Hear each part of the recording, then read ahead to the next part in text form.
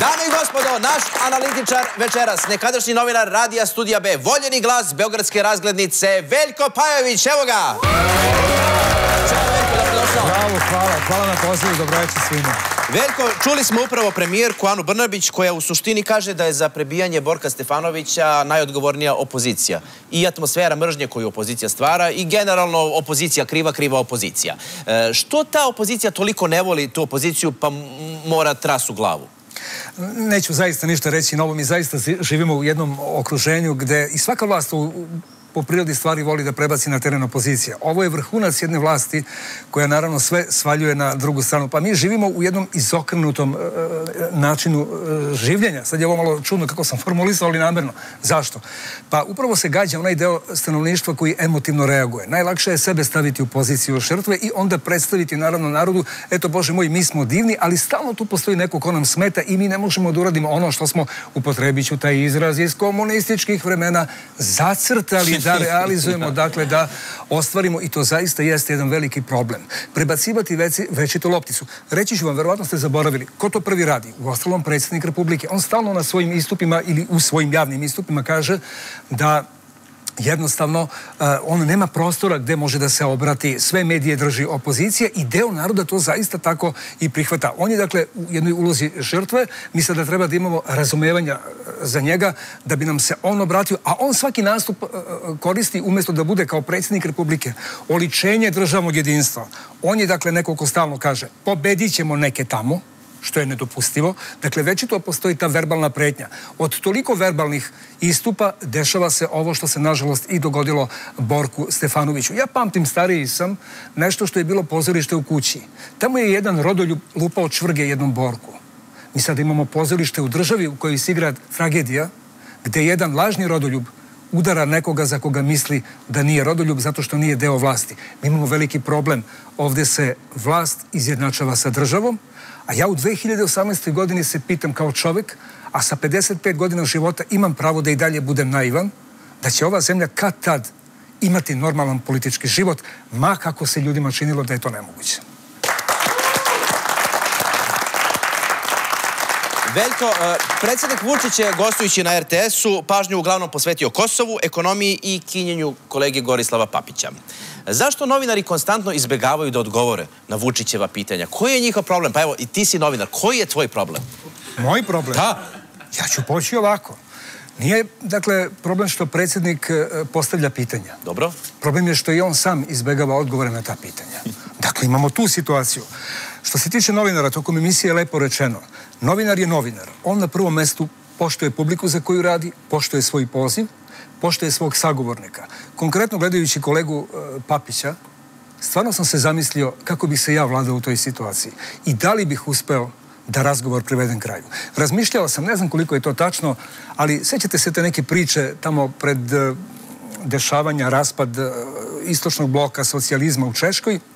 Postoji priča da je jedna spikerka u sred TV dnevnika, pročitavši neko saopštenje tadašnjeg nekog njihovog centralnog komiteta, zastala, pogledala u kameru i rekla, oprostite, ja ove gluposti ne mogu da čitam. Ustala i otišla.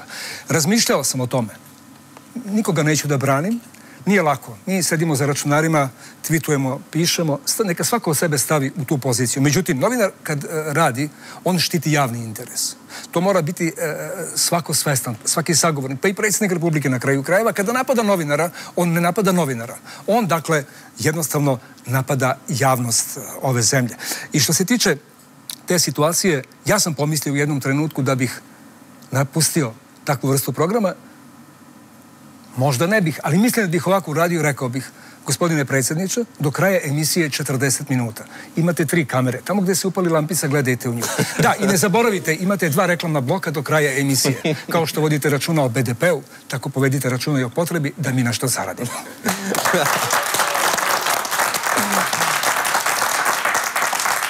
Predsednik je najavio izgradnju prvo jednog, pa četiri, pet, pa sad evo vidimo sedam, osam stadiona. E, ako je x, dakle, stadion jednako sedam, a y vreme izgradnje stadiona jednako pet, pričam naravno o A1 fazi izgradnje, nepoznata u ovoj jednačini je koliko još mandata predsednik namerava da gradi? E, što se tiče stadiona, ta ideja je prisutna i tako dalje, ajde da počnemo sad malo stvarno da budemo ozbiljni.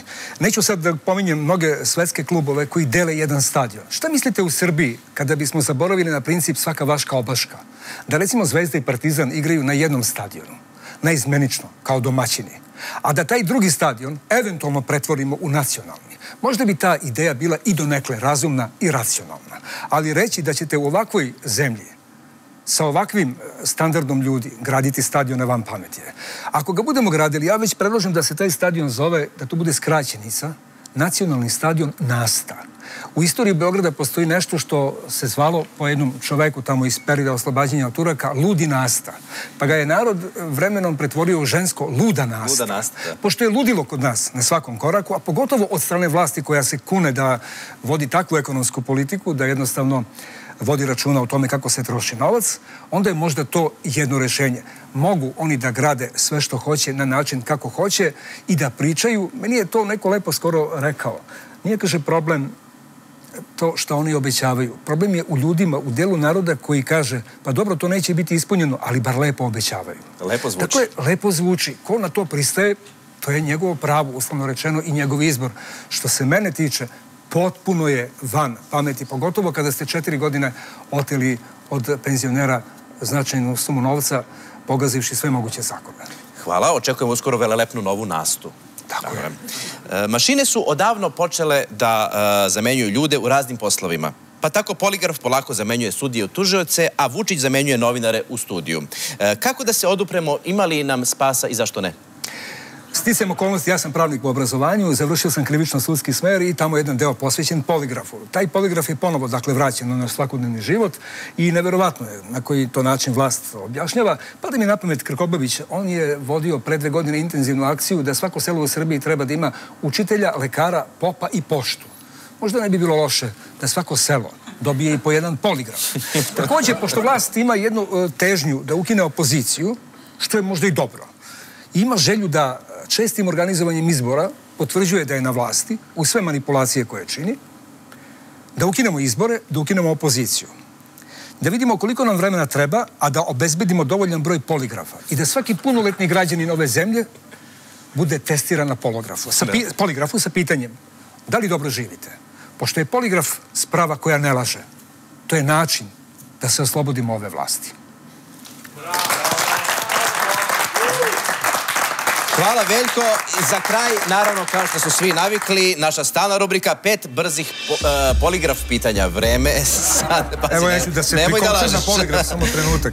Prvo pitanje, zašto si pre skoro tri godine popio suspenziju na studiju B, a potom dao otkaz? Ovako, otišao sam sporazumno, reagovao sam, to je bio samo povod na neke bačene ploče, e, stigao je neki navodni vlasnik Studija B. Ja mislim da Studio B uopšte nije privatizovan. Tu samo postoji jedan posrednik između kuće i Skupštine grada koja i dalje finansira Studio Nemoj B. Nemoj da vrdaš. Ne vrdam. Ne vrdam. Dakle, izašao sam zato što svaka vlast je u studiju B bila, ja sam tamo od 92. i uvek je bilo stani pane.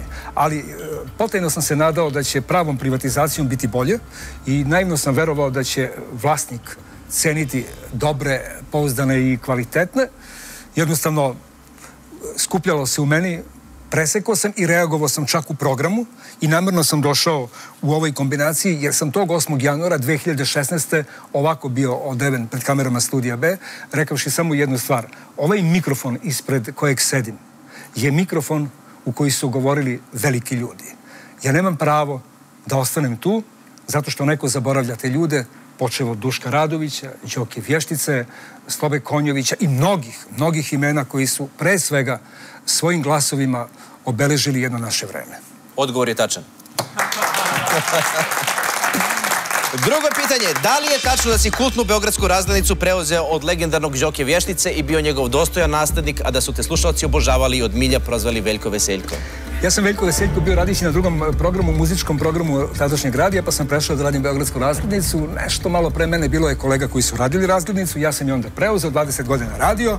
Da li sam dobro radio, da li sam bio na tragu Đoke Vještice, ja o tome ne mogu, neću i nemam pravo da govorim, ali znam samo jedno da mi jedna slušateljka zvala jedno jutro vam programa i rekla, gospodine Pajoviću, slušala sam Vješticu, njega više nema. Đoko je tada bio živ, ali je prešao da uređuje televizijski program. Sada ujutru na radiju kada čujem vaš glas, ja ponovo imam utisak da se budim uz Đoku. Lepo, emotivno, emotivno. Treće pitanje, da li je tačno da trenutno nemaš angažman na radiju, a greota moćan glas Brita Kum još uvek upotrebljiv? Pa, na kraju krajeva, trenutno ne radimo tad kada sam izašao. Bilo je nekih pokušaja na nekom mom internet radiju, to je za sad stopirano. Radio sam na jednom internet radiju takođe. Ja zaista ne bih želeo da to zvuči kao fraza. Trebalo je da radim na Radio Beogradu po izlasku iz e, studija B. Bila je ideja, želja, odjednom je sve bilo obustavljeno. Iskreno, e, jednom novinar zauvek novinar, čovek sam koji voli radio, Radio je inače mediji kome se najviše veruje, to su istraživanja u Evropi. Možda smo ga mi formatiranjem pretvorili više u tralala.